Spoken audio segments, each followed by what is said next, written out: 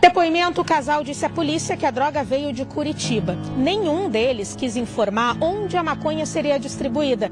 Segundo a polícia, pelo menos 500 mil reais em apreensões. A caminhonete foi apreendida com a droga. Já o motorista até agora não foi encontrado.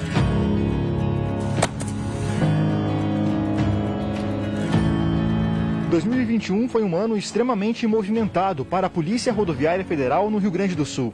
As equipes da Record TV acompanharam o trabalho incansável dos agentes.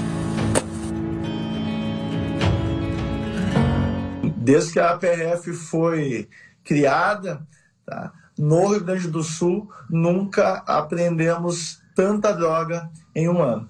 Os policiais da inteligência trabalham muitas vezes de forma integrada com outras agências para obter informações e essas informações são trabalhadas em conjunto com as equipes operacionais que têm que utilizar a técnica correta para encontrar, interceptar os veículos e encontrar as drogas.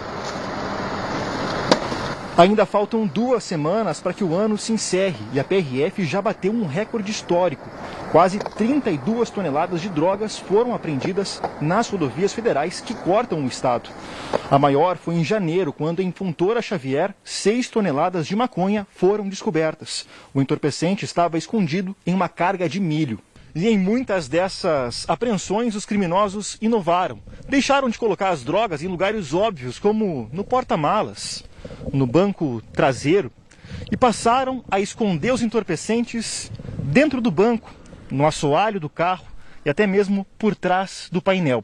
Viraram especialistas, só que não o suficiente para enganar a polícia. E além das ferramentas normais dos policiais, né, armamento, algema, colete, agora está sendo muito usado também chave de fenda, martelo, serra, muitas ferramentas porque os criminosos eles tentam cada vez mais esconder a droga para não serem pegos.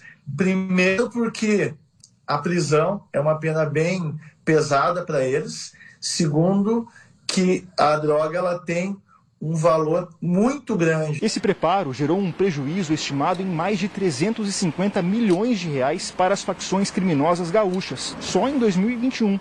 Esse valor chega a meio bilhão de reais se contabilizar as apreensões de cigarros contrabandeados e armas. A tendência é aumentarmos os números de prisões e também aumentarmos ainda mais esse recorde de apreensão de, apreensão de drogas.